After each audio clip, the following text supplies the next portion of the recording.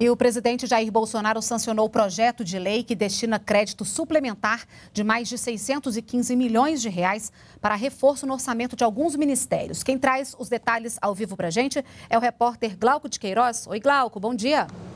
Olá, Renata. Bom dia a você, bom dia a todos.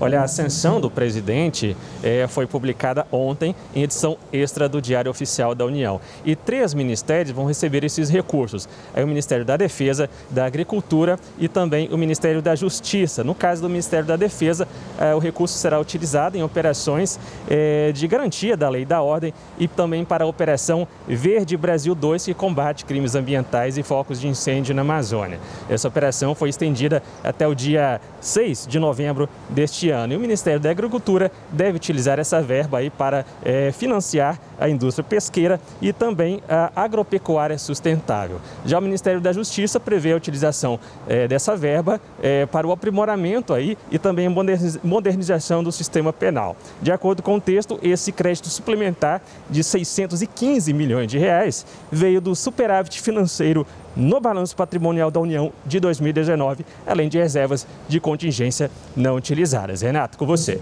Obrigada, Glauco, pelas suas informações.